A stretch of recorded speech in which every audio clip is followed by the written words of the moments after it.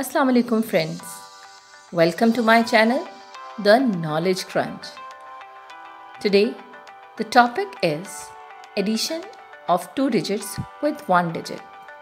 Now let's have a recap of place values. We know that one single block is called one unit or ones. Similarly, two single blocks are called two units or ones. In the same way, three single blocks are called three units and ones. One long rod is made up of 10 single blocks, so it is called one tens. Two long rods will make two tens, that is equals to 20. Similarly, three long rods make three tens which is 30.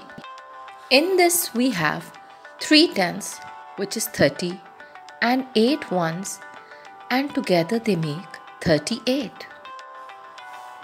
Here we have 2 tens which is 20 and 3 ones and total they make 23.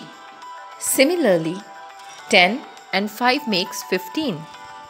Here we have 2 bars of tens which is 20 and 3 ones blocks which means 23 and we have 5 more single blocks which means 5 ones.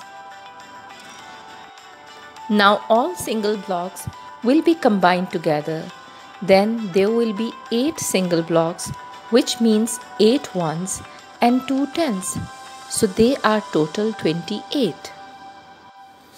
Similarly when we add 34 and 3, then all ones together, then it will be 37. Now you are clear about ones and tens. Have a look to these numbers and identify ones and tens. In 57, 7 is at the place of ones and 5 is at the place of tens. Similarly, in 64, 4 is ones and 6 is tens. And in 89, 9 is ones and 8 is tens. In 44, there are 4 tens and 4 ones. And when 5 ones add in 4 ones, then it will be 49. Now you can make a sum like this.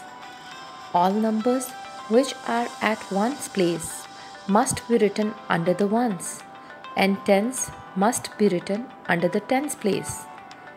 And first add ones in ones.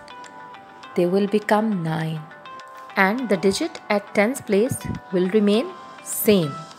So it will be 59. So my dear friends, as you know, practice makes the man perfect. So you need to practice such type of sums Thank you for watching the Knowledge Crunch.